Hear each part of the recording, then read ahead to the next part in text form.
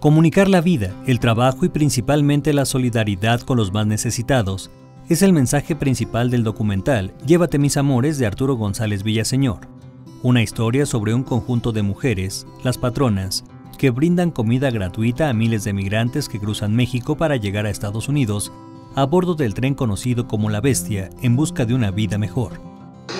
Pues es una película que para mí en lo personal el tema de la migración es el eje central de lo que traza la, historia, pero alrededor de esto hay muchos temas de los que se plantean en la película, como el empoderamiento de la mujer, el abandono del campo, eh, la desigualdad, eh, la falta de oportunidades de, los de las más jóvenes de las patronas por poder alcanzar una universidad en un lugar donde la educación no, no está bien planteada y entonces llegan sin preparación y sobre todo sobre la solidaridad. Creo que es una película que habla de la solidaridad y de, y de la humanización entre nosotros.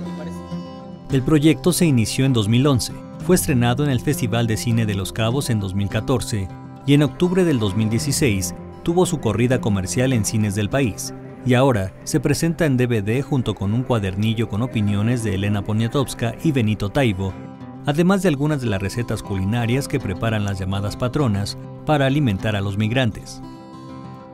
Al recordar cómo nació el proyecto, Arturo González dijo que surgió a partir de una tesis que iba a realizar sobre una radio comunitaria ubicada en el Paso del Macho en Veracruz, muy cerca donde las patronas hacen su labor.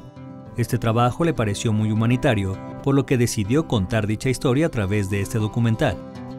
Pues son una especie de, de creo que te llenan el corazón, ¿no? O sea, te siembran granitos de esperanza que te hace dar cuenta que realmente eh, se puede cambiar al mundo ¿no? y que desde nuestras propias acciones ir en contracorriente de cualquier imposición u oposición se puede hacer algo, ¿no? Y ellas nos han dado el ejemplo desde hace 23 años.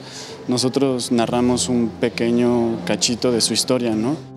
Con información de Manuel Bello, guion de Gabriel Vaquero e imágenes de Eric Gómez, Notimex.